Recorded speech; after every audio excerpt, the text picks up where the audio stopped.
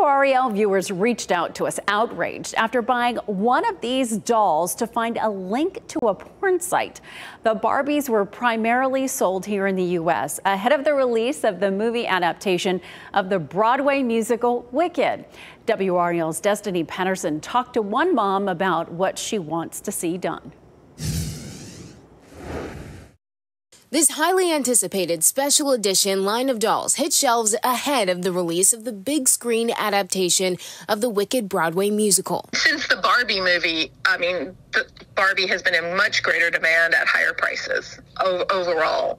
The it's really changed the whole market of Barbie collectibles. It's what's on the back of the packaging that's caused upset parents to reach out to WRAL. The link takes you to a subscription porn site instead of the movie's website. The adult content is behind a paywall. I have uh, a 10 and 12 year old and a 5 year old uh, nieces and nephews that are doll collectors um, and, and certainly would not want them going to a pornographic site.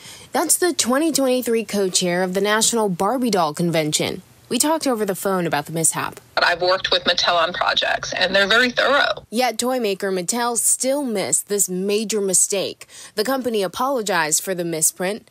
Levine pointed out its new AI partnership to produce its packaging. I don't know if in using AI on some of these packages, they're not doing that extra level of checking the human check to make sure things are being corrected. The company told CNN in a statement We deeply regret this unfortunate error and are taking immediate action to remedy this. Parents are advised that the misprinted, incorrect website is not appropriate for children.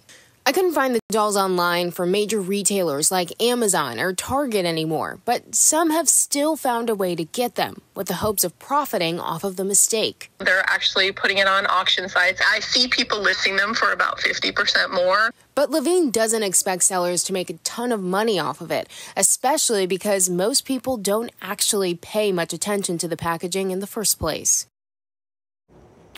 Now, Destiny tells us if you already bought a doll, throw away the package or cover up the link. The first part of Wicked comes out in theaters on Friday, November 22nd.